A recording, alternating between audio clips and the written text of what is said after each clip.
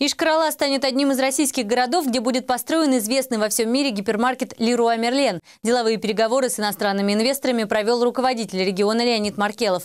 Леруа Мерлен – это французская компания, специализирующаяся на продаже товаров для ремонта и строительства. Участок под застройку уже выбран. Это практически границы Ишкаралы и Медведева. Площадь около 17 тысяч квадратных метров. С открытием новой крупной торговой сети республиканский бюджет получит дополнительные источники пополнения доходной базы в виде налоговых отчислений – ну а жители региона – возможность приобрести качественные товары для ремонта и строительства.